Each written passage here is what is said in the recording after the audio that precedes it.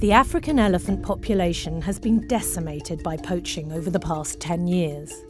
If it continues, this iconic animal could be extinct within decades. Elephants are killed for their ivory. A single tusk can fetch upwards of $4,000 on the black market. I think the realization has finally hit home that if we don't stop this trade, we are in big trouble. The slaughter is disastrous, not just for elephants, but for the stability of African nations. Almost every recent African conflict has been fueled by money from ivory. But it can be stopped.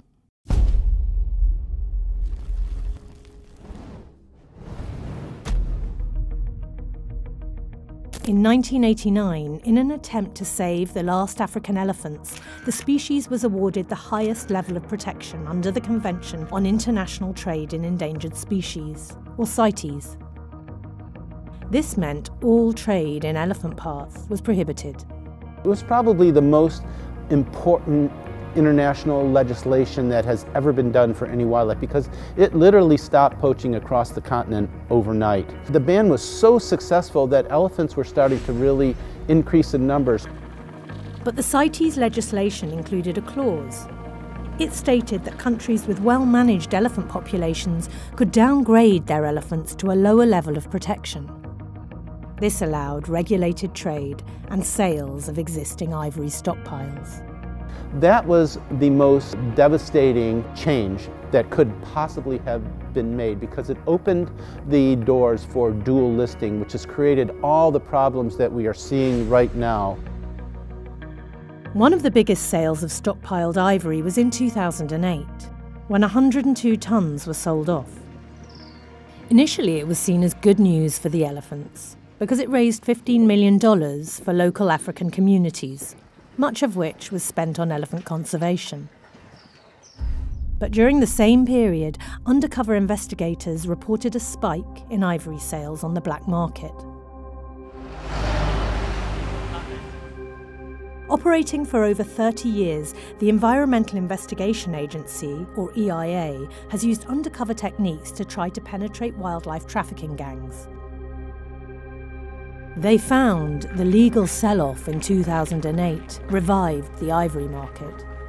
From our investigations where we actually engage with some of the traders, we get the impression that there was a feeling when the illegal sale was allowed that, that business was back. It was okay to trade ivory again.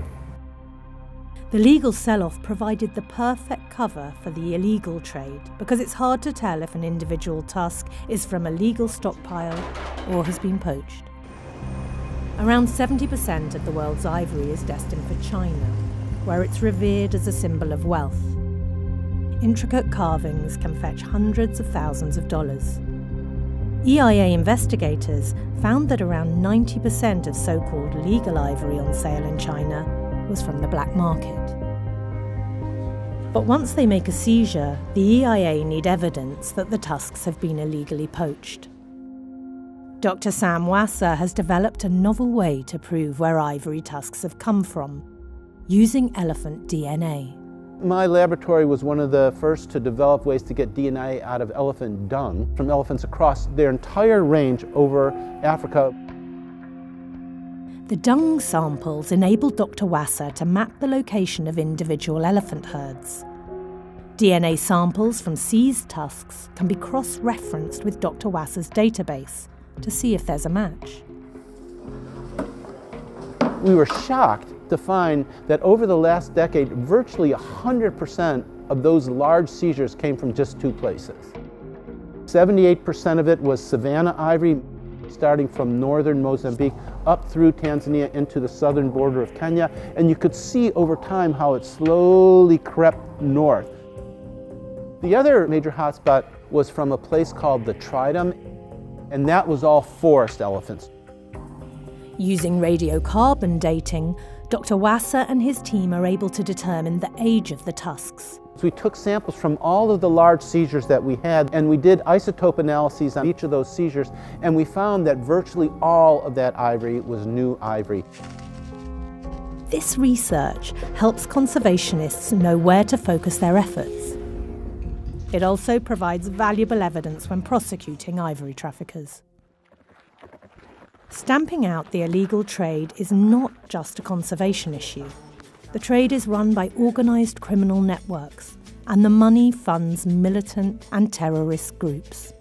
The Lord's Resistance Army in Uganda, Boko Haram in Nigeria, and Al Shabaab in Somalia have all been funded by money from ivory.